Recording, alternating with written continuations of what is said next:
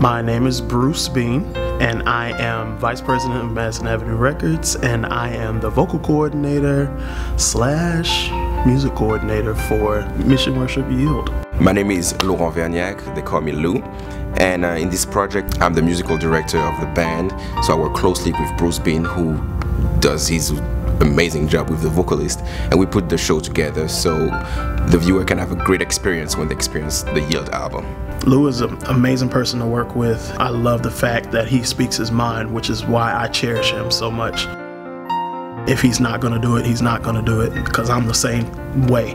Working with Bruce is very intense.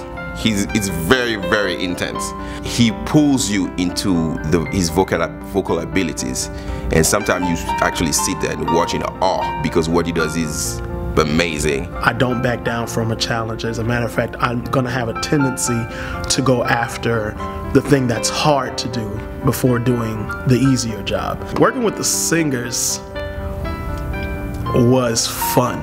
There's nothing like being around people who are good at what they do. I hope that the listener can live with a taste of heaven. Because if they have a taste of heaven, then they want to come and give their life to Christ or renew their commitment to Christ. This is going to be a different type of encounter for, for everybody who's there because this isn't going to be just you're coming to hear some singing. No, we're, we're coming to remind you of who God is and that God's got you and you're victorious in God. Yield is, for me, just meaning completely un any type of inhibition, nothing. Everything is just wide open for God. With God, you know, He'll say, I need you to go here, and you don't get always the explanation as to what you're supposed to do. So, in this context, the context of the project, I'm letting God get a handle of what I'm going through, what of what I'm doing, because He's in control.